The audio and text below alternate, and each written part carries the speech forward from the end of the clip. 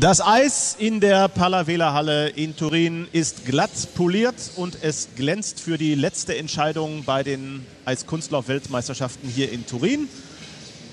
Die Entscheidung, die unmittelbar bevorsteht. Kür der Damen. Insgesamt 24 Läuferinnen sind dabei. Und Sie können wieder alles live und hautnah bei uns im ZDF-Infokanal miterleben. Wir starten gleich in fünf Minuten exakt. So lange dauert noch diese Einlaufphase der ersten Damen. Das sind diejenigen, die nach dem Kurzprogramm, dem ersten Wettbewerbsteil, die Plätze 19 bis 24 einnehmen. Und das wird dann nachher die erste Starterin sein, die Sie gerade im Bild sehen, Anastasia Gimasetinova aus Usbekistan. Dann geht die Kamera schon auf die Vertreterin Spaniens, Sonja Lafuente wird hier gerade den Damen und Herren, den Zuschauern im Stadion vorgestellt. 18 Jahre ist sie alt, kommt aus Las Palmas, der Hauptstadt von Gran Canaria. Kanarische Inseln trainiert natürlich dort nicht, denn ich glaube kaum, dass es auf Gran Canaria eine Eishalle gibt. Sie ist in Madrid unterwegs und nimmt dort die Trainerstunden. Ja, war bei den Olympischen Spielen im Finale schon dabei mit 22 Jahren. Äh, Entschuldigung, mit 18 Jahren war sie 22. Hab die Zahlen durcheinander gebracht.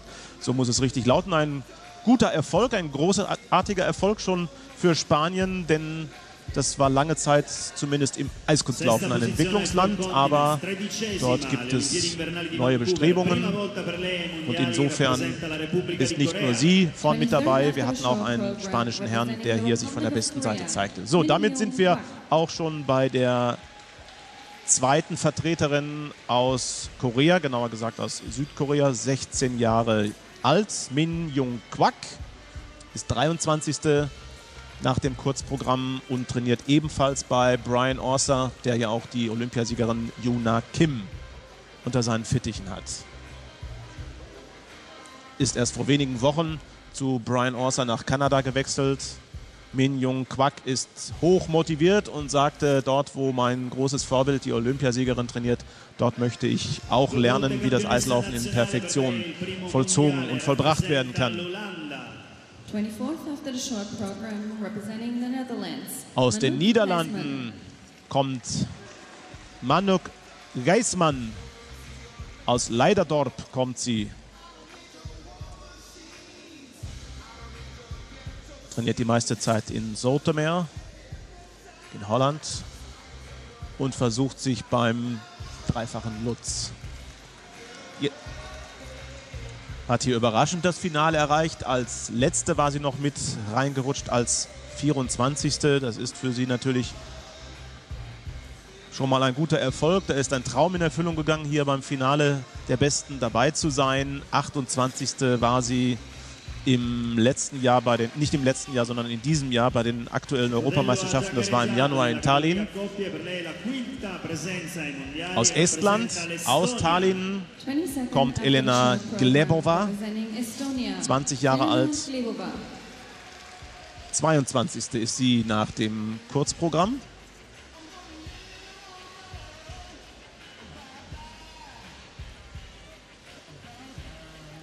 Ja, da spielt noch Nervosität mit hier bei diesem Einlaufen. Da muss sie einen zweiten Anlauf nehmen zum Rittberger und die Regie blendet sich bei ihr aus. Macht nichts, sehen wir nachher nochmal.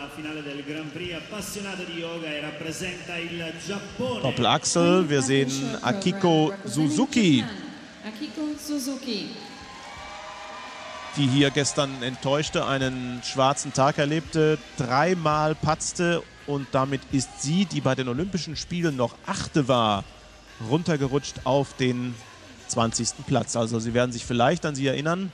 Wenn Sie die Olympischen Spiele verfolgt haben, gehörte zu den Top-Leuten, die also in den besten Gruppen dann schon gelaufen sind. Diesmal muss sie ganz früh aufs Eis, für sie eher ungewohnt, 12 Uhr 35 aber das nutzt nichts, da muss sie jetzt durch. Hier ist sie natürlich im Augenblick mal, so deute ich das nach diesem Sprung, dreifacher Flip war das die beste Springerin aller derjenigen, die sich im Moment noch einlaufen. 30 Sekunden noch einlaufen, dann geht es los.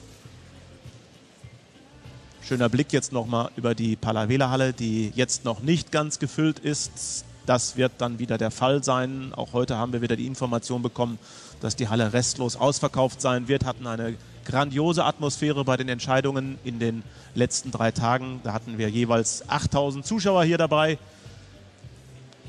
die die entsprechende Atmosphäre aufbauten. Scheinwerferlicht reflektiert ein wenig. Daran ist gut zu erkennen, dass das Eis oben noch ein wenig feucht ist. Gerade an den Stellen, das kann man genau sehen, wo das Scheinwerferlicht reflektiert. Das heißt, das Eis schwitzt ein wenig oben. Durch die Wärme wird es ein wenig angetaut, ein hauchdünner Film. Und das ist für einen Eiskunstläufer immer das Zeichen, dass er da den besten Griff hat, dass die Schiene einen guten Griff findet und dass das Eis nicht zu hart ist. Perfekt, die Bedingungen hier.